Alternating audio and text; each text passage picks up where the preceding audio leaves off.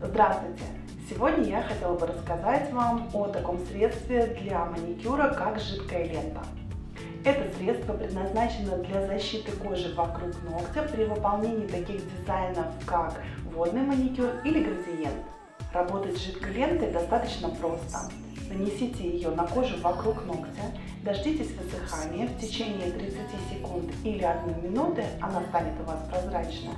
Выполните дизайн и после выполнения дизайна аккуратно снимите ее пинцетом или апельсиновой палочкой. Перед применением жидкой ленты во избежание аллергических реакций проведите тест на одном пальчике. Для сравнения я покажу вам 4 жидкие ленты, представленные на сайте Красотка Про марок Эль Коразон, Масура и Барлет. Жидкая лента Эль Коразон.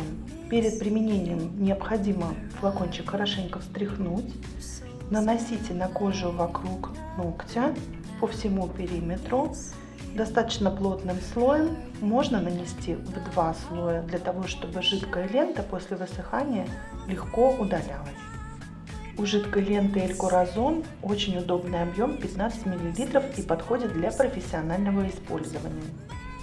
Жидкая лента Масура, розовая штучка, имеет розовый оттенок. Перед нанесением необходимо также тщательно стряхнуть и нанести плотным слоем на кожу вокруг ногтя. Имеет небольшой объем 3,5 мл, подходит для домашнего использования. Жидкая лента Масура для маникюра имеет объем 11 мл, наносится также на кожу вокруг ногтя перед созданием дизайна. При создании водного дизайна нанесите жидкую ленту на всю фалангу пальца. Жидкая лента марки Barlet имеет профессиональный объем 15 мл, нежно-розового оттенка и перед применением необходимо стряхнуть. После выполнения дизайна снимите пленку пинцетом или апельсиновой палочкой.